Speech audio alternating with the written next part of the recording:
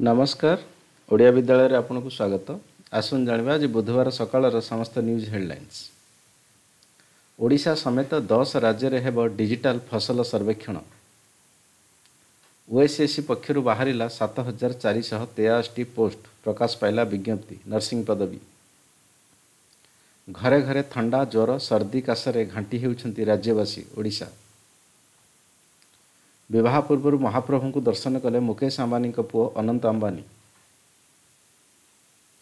ଆସନ୍ତାକାଲିଠୁ ଶ୍ରୀଜଗନ୍ନାଥ ଯାତ୍ରା ପର୍ଯ୍ୟଟନ ଟ୍ରେନ୍ରେ ଶୁଭାରମ୍ଭ ହେବ। ଦିଲ୍ଲୀରୁ କେନ୍ଦ୍ରମନ୍ତ୍ରୀ ଅଶ୍ୱିନୀ ବୈଷ୍ଣବ ଟ୍ରେନ୍ରେ ଶୁଭାରମ୍ଭ କରିବେ। ଭାରତରେ ଲଞ୍ଚ ହେଲା ନିଜସ୍ୱ mobile operating system Bhar OS operating ସିଷ୍ଟମକୁ ଲଞ୍ଚ କଲେ ଦୁଇ କେନ୍ଦ୍ରମନ୍ତ୍ରୀ।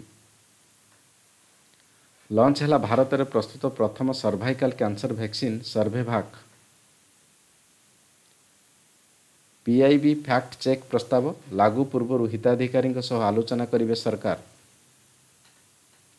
କନେଷ୍ଟବଳ ନିଯୁକ୍ତି ପାଇଁ ଚାରି ବର୍ଷ କୋହଳ ହାଇକୋର୍ଟ ନେଲେ ଗୁରୁତ୍ୱପୂର୍ଣ୍ଣ ନିଷ୍ପତ୍ତି ଏଗାର ଜାତୀୟ ଶିଶୁ ପୁରସ୍କାର ବିଜେତାଙ୍କୁ ଭେଟିଲେ ପ୍ରଧାନମନ୍ତ୍ରୀ ମୋଦି ପଞ୍ଜାବ ମୁଖ୍ୟମନ୍ତ୍ରୀ ଭଗବତ ମାନଙ୍କୁ ବଟିଣ୍ଡାରେ ତ୍ରିରଙ୍ଗା ପତାକା ନ ଉଡ଼ାଇବାକୁ ଧମକ ମିଳିଛି ସଂସଦର ବଜେଟ୍ ଅଧିବେଶନ ପୂର୍ବରୁ ଭାରତ ସରକାର ଏକ ସର୍ବଦଳୀୟ ବୈଠକ ଡାକିଛନ୍ତି। ବିବିସି ଡକୁମେଣ୍ଟାରୀ ନେଇ ସରକାରଙ୍କୁ କଂଗ୍ରେସର ସମର୍ଥନ?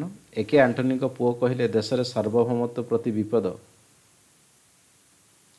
ମେଘାଳୟରେ ହେବାକୁ ଥିବା ବିଧାନସଭା ନିର୍ବାଚନ ପାଇଁ ମଙ୍ଗଳବାର ଟିଏମ୍ସି ନିର୍ବାଚନ ଇସ୍ତାହାର ପ୍ରକାଶ କରିଛି।